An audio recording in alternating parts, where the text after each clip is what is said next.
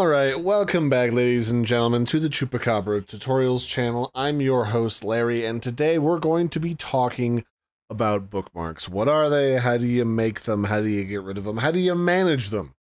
And the simple answer is whenever you go to a page, like say you found a great page like this one, dafont.com, where you can get fonts that you want to use for like thumbnails or projects or graphic design, mock-ups, uh, but you don't want to have to commit it to memory so you can just click on this little star icon up here at the top of the page in order to add it to your bookmarks menu. And you can add it to your toolbar here, or just the bookmarks menu in general, or other bookmarks, or you can pick what you want to add it to in general. Like I'm just going to put this in, um, let's make a new folder here.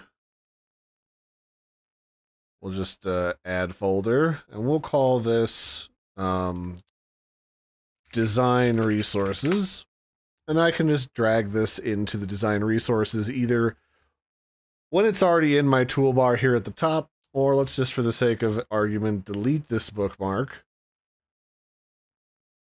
I can re-add this with the star icon here to my new design resources folder in that little interface there. Or if I would prefer, I can also hit Control D whenever I'm browsing around. And this will give me a similar option to put this either in the a folder of my choice or a recently used folder that I like to put a lot of uh, bookmarks in recently.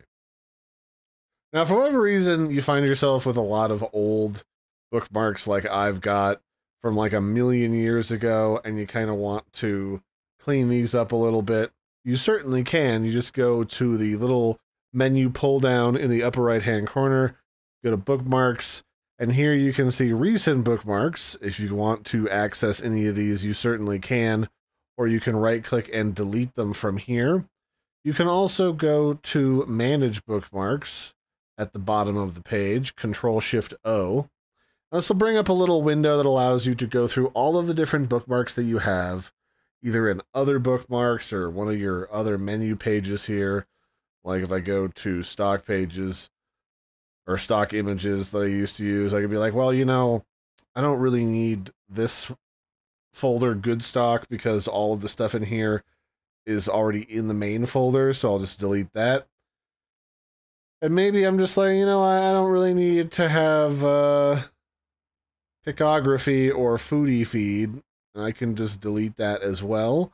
Now, alternatively, you can go to your history and you can go to today and you can be like, well, what are these websites that I've been to in the last whatever? Like, oh, I was playing Voices of the Void that game earlier and I'd like to have the crafting recipes available uh, a lot quicker so I don't forget them. So I can right click that and I can bookmark this page and I can add that again to my design resources or whatever.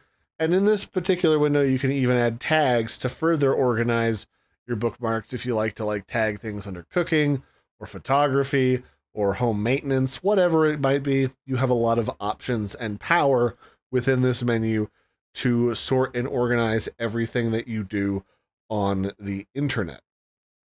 So I hope you found that helpful. This has been a brief look at how to create bookmarks, how to delete bookmarks. You can literally just right click them anywhere and delete them right here through this menu. You can edit them to change the name of them if you want. All of that good stuff. So I hope you found this helpful. I've been your host, Larry. Don't forget to like and subscribe, and I'll catch you next time. This has been a brief look at Firefox bookmarks.